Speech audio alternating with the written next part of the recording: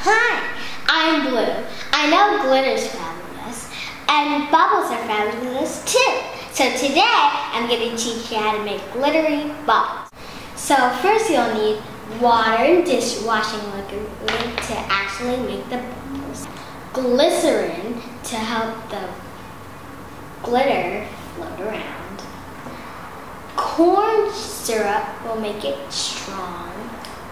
And you'll need powdered glitter because it's light, won't drop down when the bubble flies. A jar to mix it in, a bubble container that's empty, and a spoon.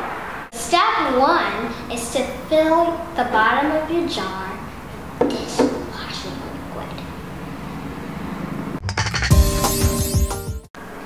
Then fill it halfway up with water.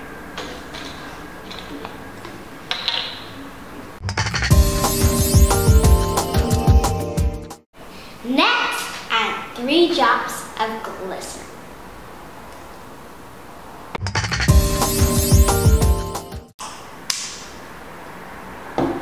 Now, add one glop of corn syrup.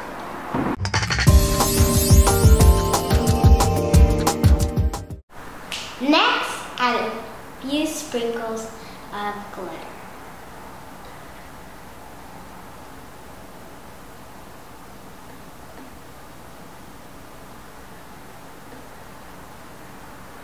Now, mix it.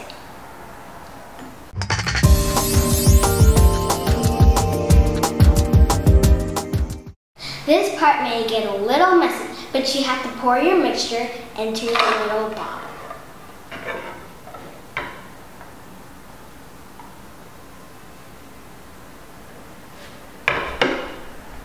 You might have to shake it a little because the glitter sometimes sinks to the bottom.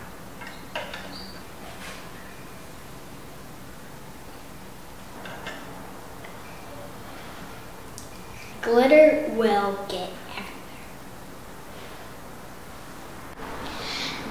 Don't get frustrated if your bubble mixture doesn't work right. It's science. Sometimes keep doing it over and over again. Just make sure you have the right bubble solution soap and water. Then you can add everything else. That's it! hope you liked my video. And if you did, don't forget to subscribe to my channel. Bye!